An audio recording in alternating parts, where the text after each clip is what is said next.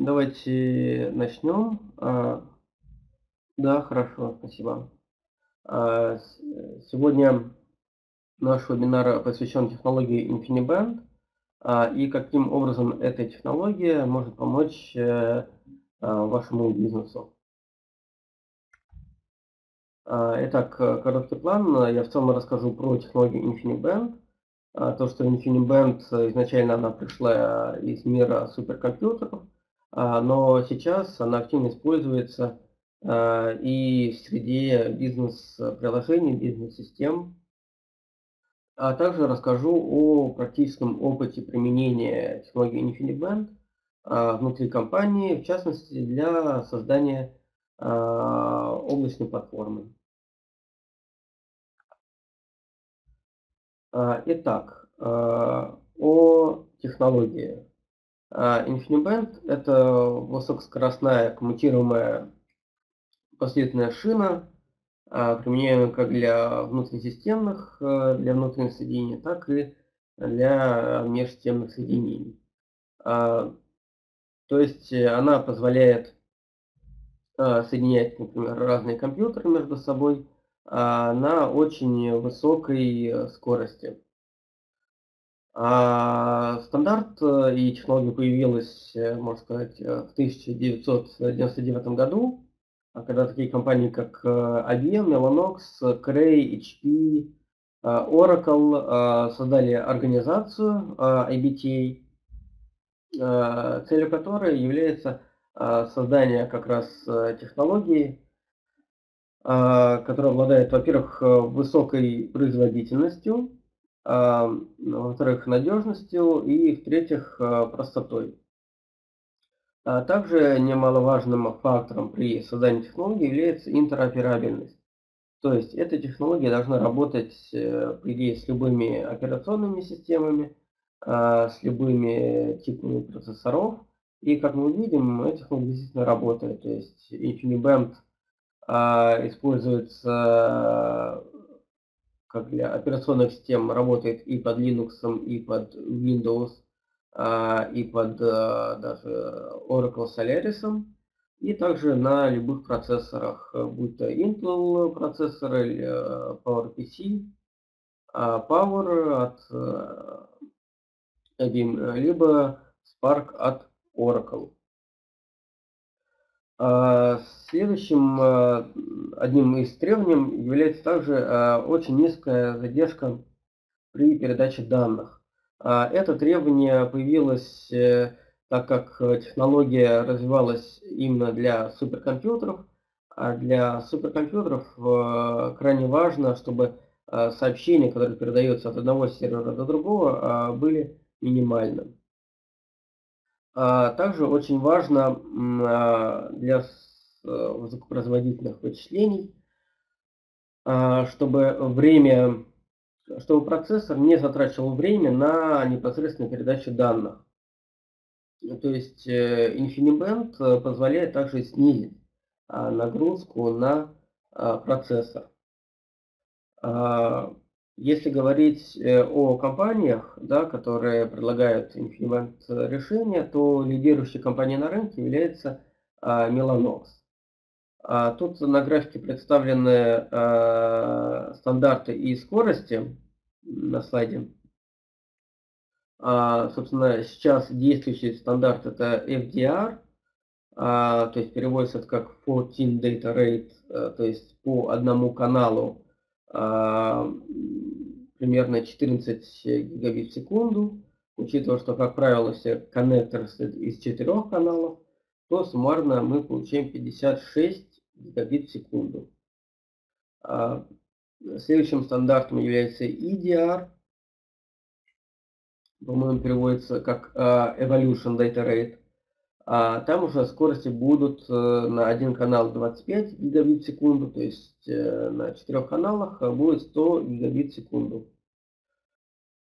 А у компании Mellanox при этом э, есть решение как для InfiniBand, так и для Ethernet. Причем сетевые карты они могут работать как в режиме Ethernet, так и в режиме и InfiniBand.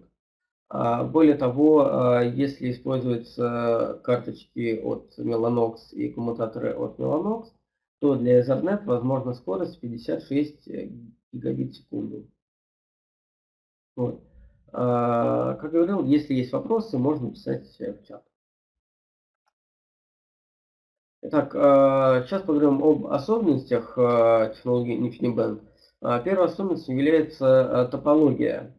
А в InfiniBand принято использовать топологию под названием толстое дерево, либо leaf spine.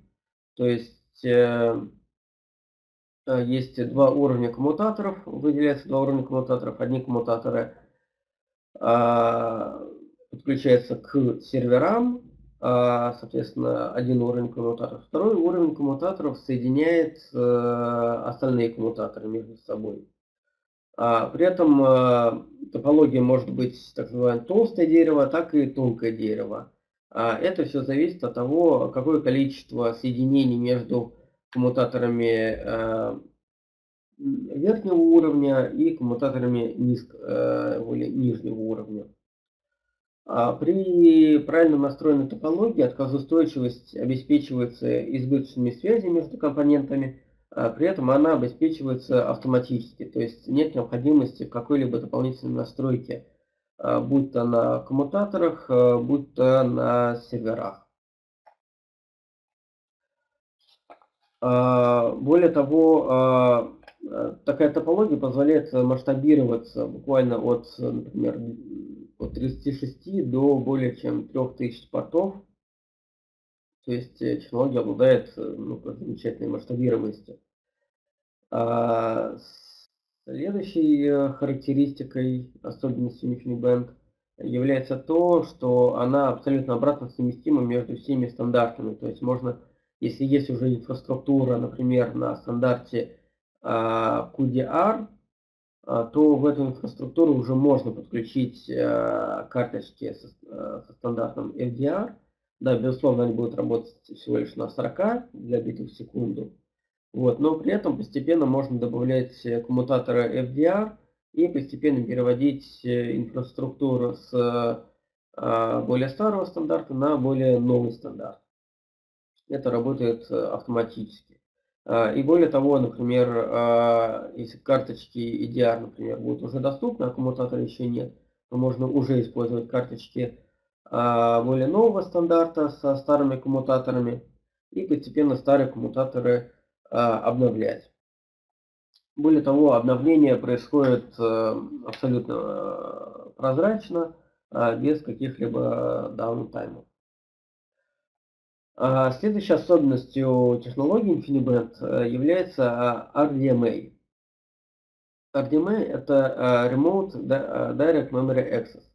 А, это значит, э, что один сервер, например, может э, при необходимости получить а, доступ к памяти другого сервера, и при этом вся механика а, будет произведена на уровне карт, сетевых карт. То есть это технология, которая позволяет из InfiniBand выжить максимум. Почему? Потому что когда используется RDMA, а центральный процессор в процессе передачи данных а, а, не используется. А при этом гарантируется, что данные не будут потеряны, что данные, как были вот определенная область памяти, как она была на одной системе, должна была быть э, передана, как она на другой системе гарантированно будет передана. Это обеспечивается тем, что в InfiniBand на уровне протоколов, на уровне стандарта, сразу обеспечивается отсутствие потерь данных. То есть, э, а, если необходимо, например, а, снизить э, нагрузку на процессор, то InfiniBand может быть э, очень хорошим решением и, пожалуй, лучшим на рынке. Вот, безусловно, а, преимущество номер один в InfiniBand а, – это его скорость. А, тут представлено сравнение.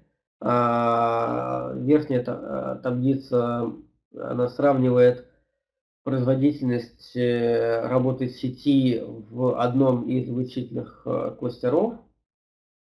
Как мы видим, FDR обеспечивает задержку всего лишь 0,7 микросекунд по сравнению с 7 микросекундами, например, на 10 гигабит Ethernet, либо э, более полутора секунд на 40 гигабит э, InfiniBand.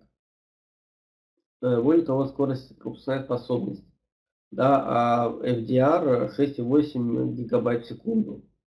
А мы, в свою очередь, тестировали и мы подключали, например, флеш SHD к InfiniBand, а, и мы получали скорость более 5 гигабайт в секунду на хост при копировании данных с этой SHD, либо на SHD. То есть такую скорость получить на, на Ethernet 10 гигабит ну, практически нереально. Вторая таблица показывает различия стандартов а, то есть сейчас действующий стандарт самый популярный это FDR. А, пока что такие решения представляет только Mellanox. А, решение QDR сейчас есть от э, компании Intel, после того, как она приобрела компанию QLogic. В 2015 году э, выйдет новый стандарт, это EDR, а, то есть э, это стандарт со скоростью 100 гигабит в секунду. А, то есть э, такую скорость можно использовать для двух вещей. Например, либо для того, чтобы снизить количество соединений между а, коммутаторами, то есть, э, например, в два раза да, так как э, производительность EDR практически в два раза больше, чем а, FDR. А, это первое, для чего можно использовать EDR. А, либо, если ну, скорость, в принципе, FDR для какой-то задачи не хватает, то можно перейти на 100 гигабит в секунду.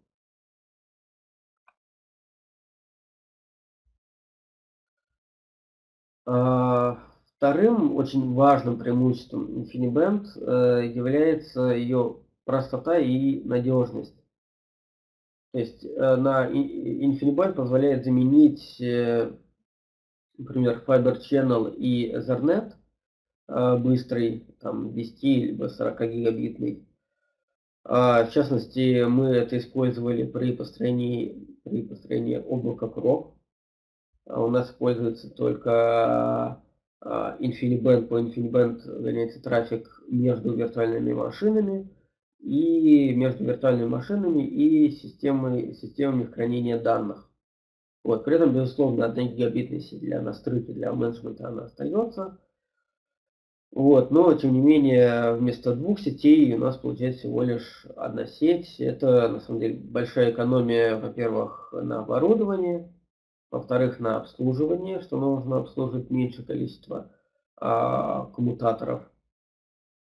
А, и это также обеспечивает более высокую производительность.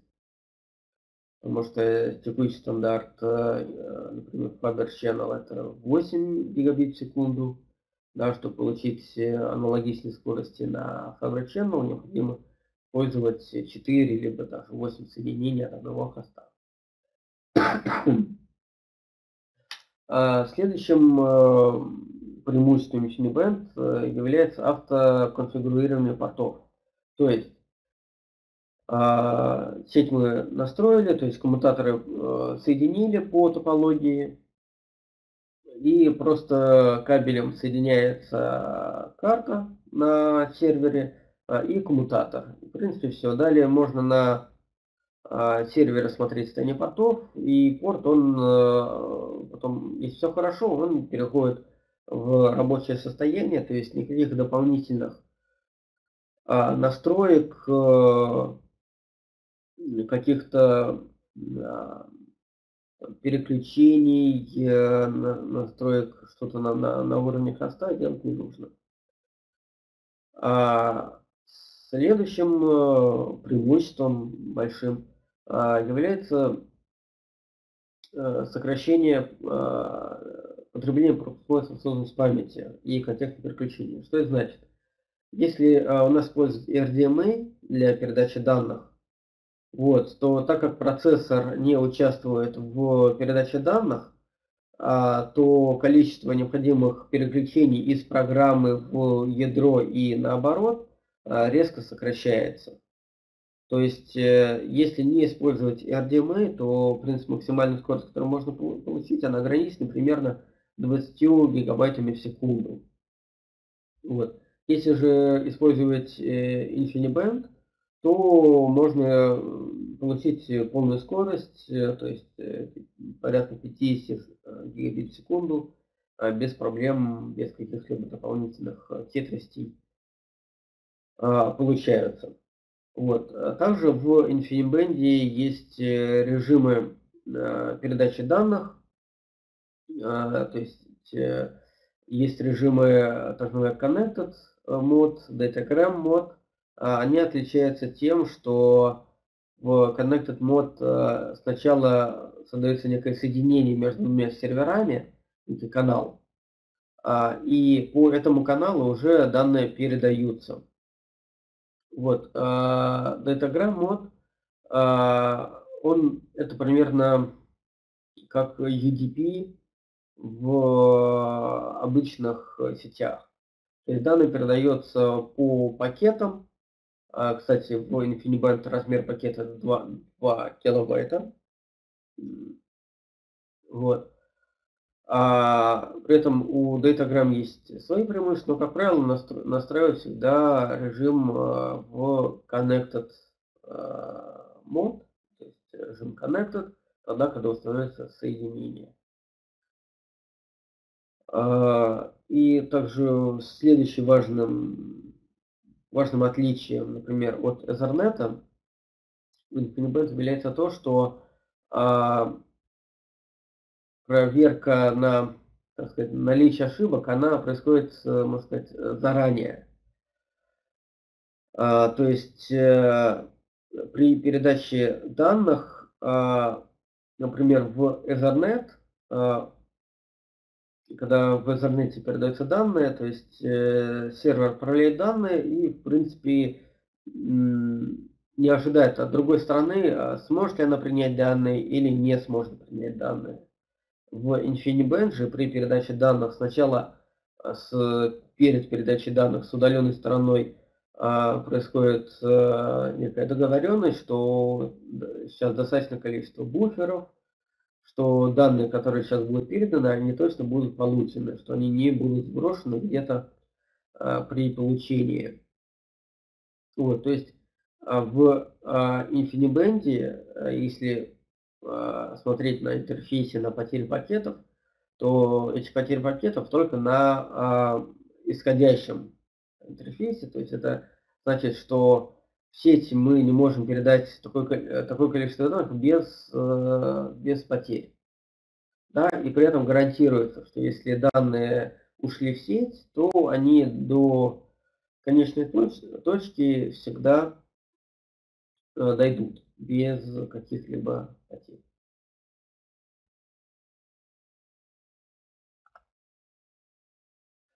А, итак, а какое же есть оборудование для э, технологий для InfiniBand. Ну, в первую очередь это адаптеры.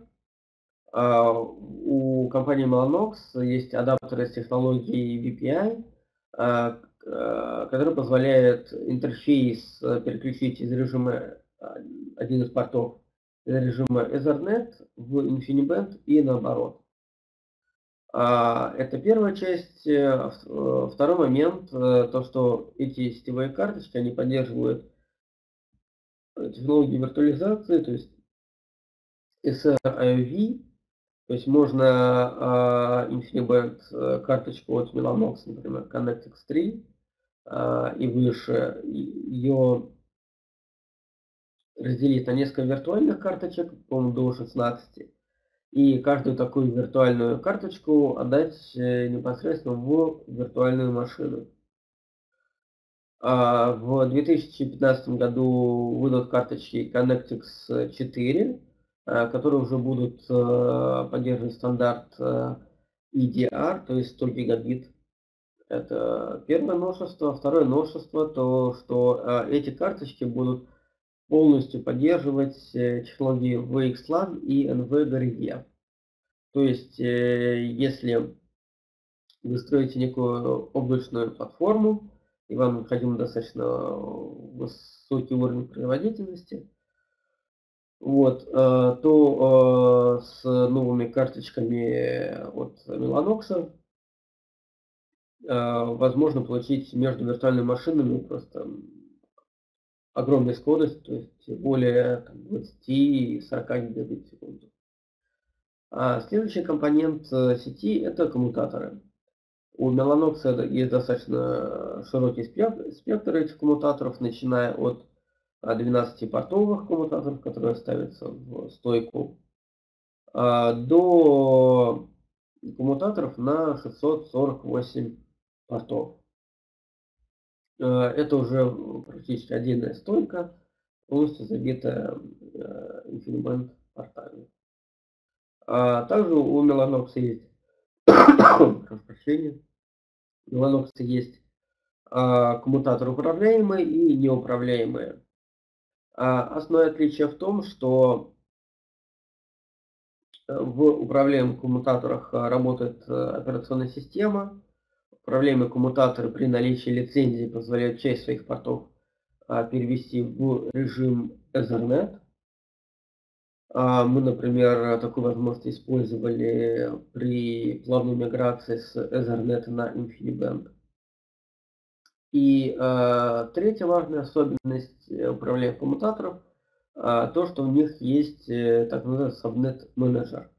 Subnet менеджер это необходимый компонент сети InfiniBand, э, который, э, э, грубо говоря, управляет э, сетью, да, который э, управляет даже не сетью, а фабрикой. То есть э, когда новый хост, например, входит в фабрику, он обращается к subnet менеджеру и у него узнает, какие еще есть хосты в сети, а, какие есть коммутаторы, как э, до других хостов, каким образом можно подключиться. Так, а, следующий... Э, так, я вижу вопросы. Ага. Так, Тут э, задали вопрос. При режиме совместимости Ethernet время передачи пакетов сокращается? Да, если используется режим Ethernet, то есть это, это не режим совместимости, это в принципе режим Ethernet. И время коммутации при работе в Ethernet, оно примерно такого же порядка, как и при работе, как и в InfiniBand. То есть что-то порядка одной микросекунды.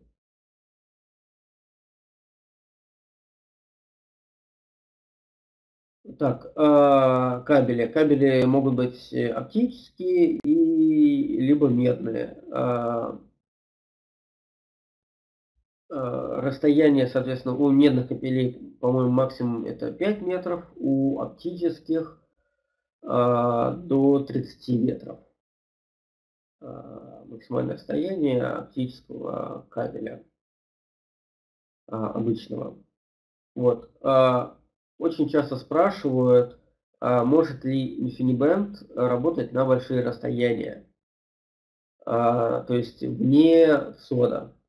Да, сейчас InfiniBand может на больших расстояниях работать. У Mellanox есть решение для создания метросетей, а, то есть позволяет передавать э, по InfiniBand данные на расстоянии от 10 до 80 а, километров. Это так называемые long haul коммутаторы. И, как правило, предоставляется целиком уже система. То есть для работы необходима просто темная оптика между, между цодами. А сама система состоит из InfiniBand э, коммутатора и DVDM э, модуля. В DVDM модуль подключается э, темная оптика, в InfiniBand коммутатор подключается остальная сеть. При этом скорости сейчас доступны это от 40 до 80 гигабит в секунду.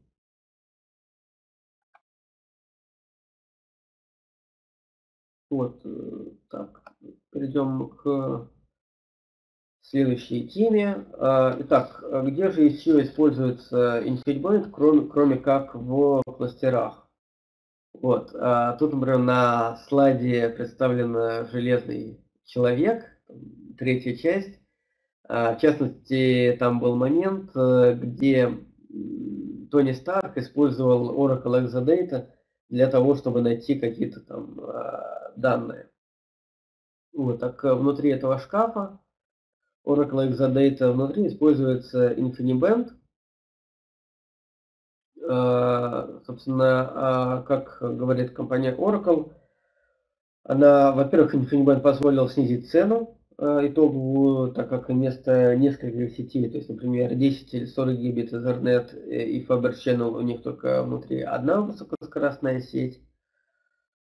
А, во-вторых, э, InfiniBand позволяет э, легко масштабироваться, то есть до 8 стоек э, можно объединить без необходимости каких-либо внешних а, коммутаторов.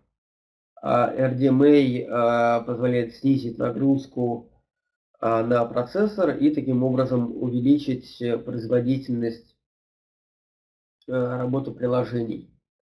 А также благодаря тому, что у них используют InfiniBand, время бэкапа э, сократилось э, примерно в два раза. Также InfiniBand, да, я вижу вопрос.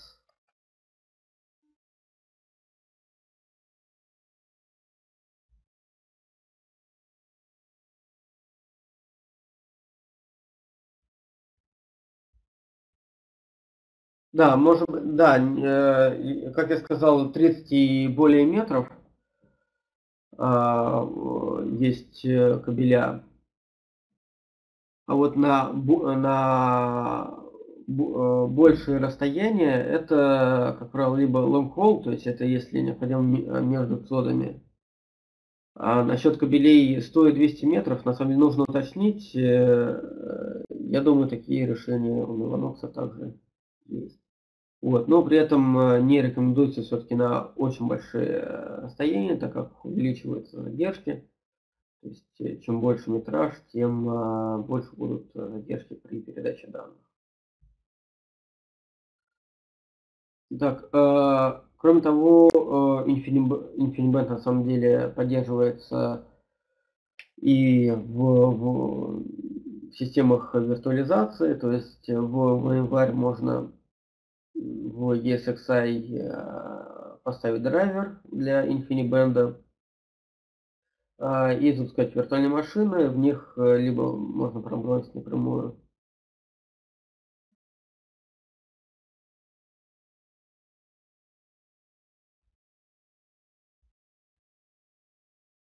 Да.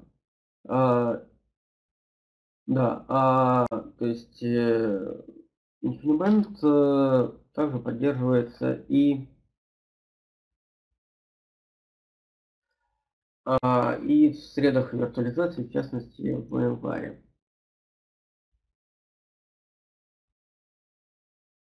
Да, тут э, появляются вопросы.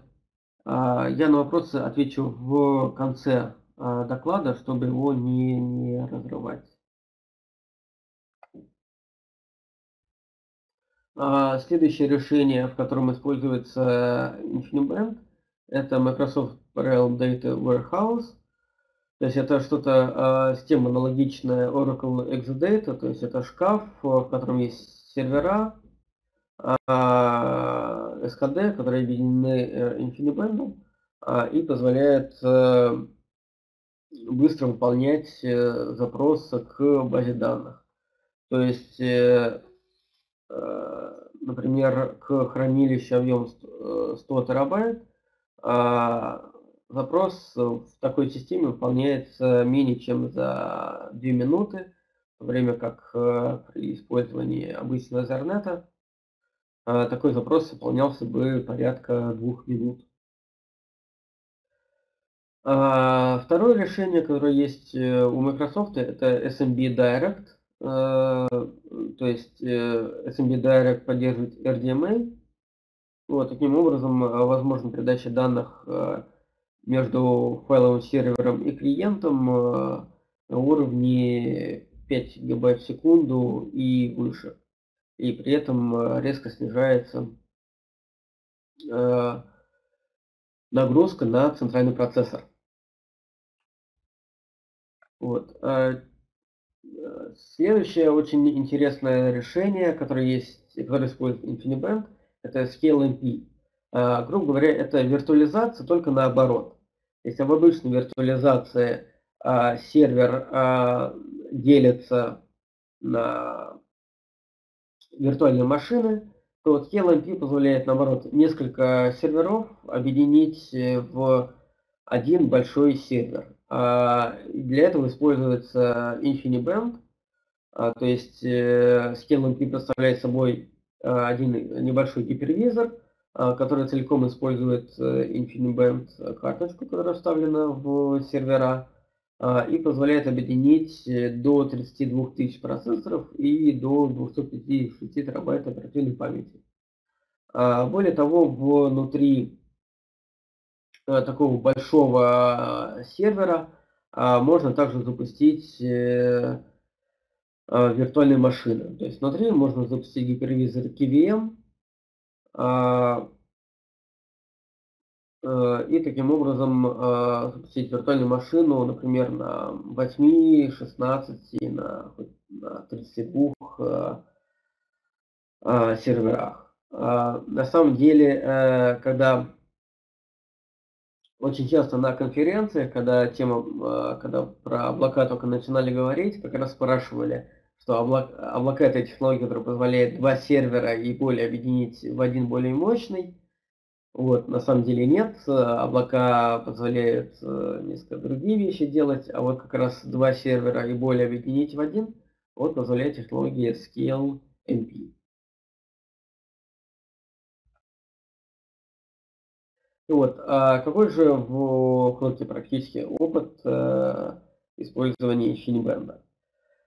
А, исторически в облако Крок э, состоит из двух цодов, цод Новолочаевск и цод на компрессор. А, цод Новолочаевск изначально был на 10 гигабит Ethernet, а цод э, компрессор был на Нефильмбенде сразу на Нефильмбенде был построен. А, а промышленную, промышленно стали эксплуатировать Infiniment сеть начиная с 2013 года, и за это время а, ни одной проблемы с Infiniment сетью не возникло. То есть э, а, мы постоянно расширяемся, постоянно добавляем сервера. А, бывают моменты, когда сервера выходят из строя. А, бывает э, когда необходимо, например, обновить прошивку коммутатора, мы совершенно без проблем этот коммутатор выключаем, обновляем прошивку и снова его вводим в сеть. А суммарно у нас э, более 500 э, портов, э, около более 300 серверов.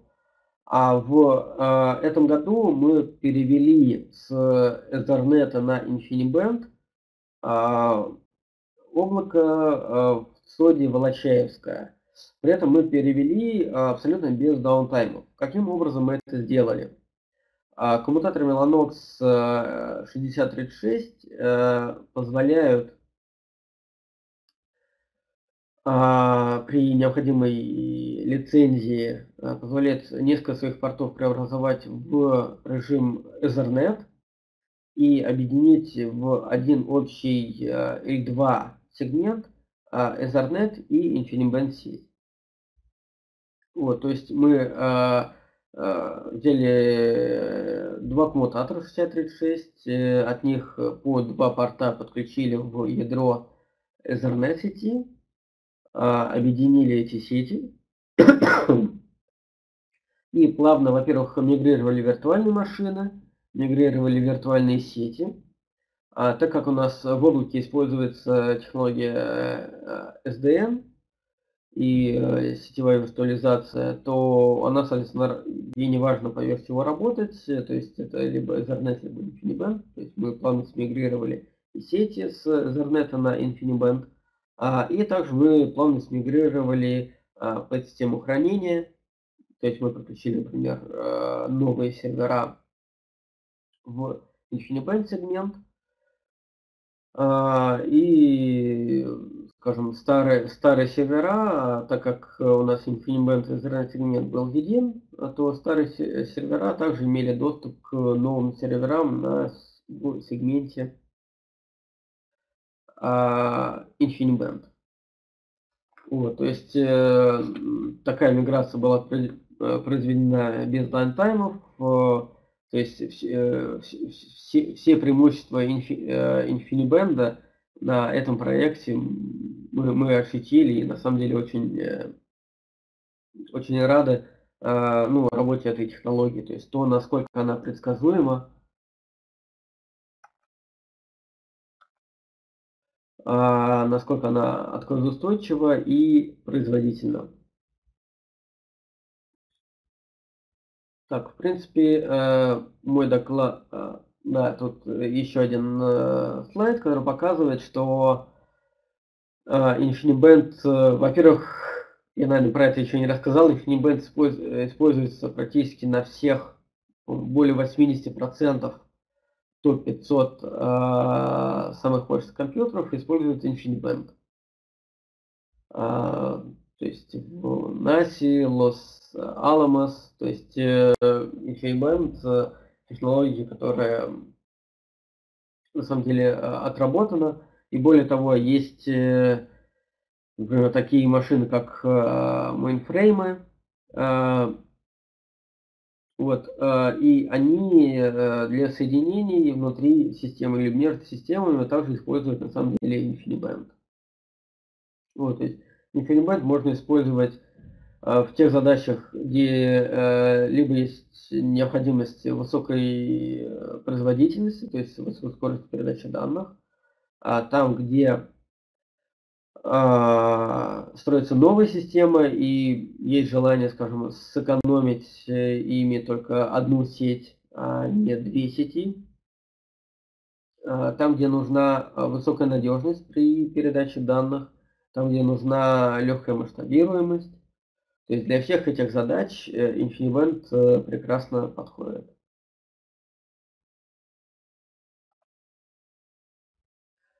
Итак, э, если есть вопросы, можете их задавать. А сейчас так, надо ли использовать и коммутаторы, и сетевые адаптеры совместно? Или можно так, И, э, или можно э, сетевые адаптеры оставить стандартный Ethernet, а коммутатор использует InfiniBand, в такой архитектуре что-то изменится. А, смотрите, э, если что касается коммутаторов, то у Mellanox есть только управляемый коммутатор позволяет переключать между режимами Ethernet и InfiniBand, а также у Mellanox есть отдельные коммутаторы для Ethernet. А, то есть, э, а, если мы используем, например, 6036, либо любой другой коммутатор Ethernet, то он, безусловно, совместим с любыми карточками Ethernet. Э, ну, в частности, мы это использовали, когда а, мигрировали облако в ЦОДе Лачаевская с э, Ethernet на, на InfiniBand. Так, должна ли поддерживать SCADA InfiniBand так как сервер. Вы используете протокол. А, да, безусловно, SKD должна поддерживать э, технологию InfiniBand, э, например, Violin Memory, э, он, он поддерживает InfiniBand, а в качестве протокола там используется SRP. А в частности, в облаке мы вот такие как раз системы хранения данных используем. То есть InfiniBand используют там, где нужна ну, просто огромная, э, очень высокая производительность. InfiniBand а, можно использовать.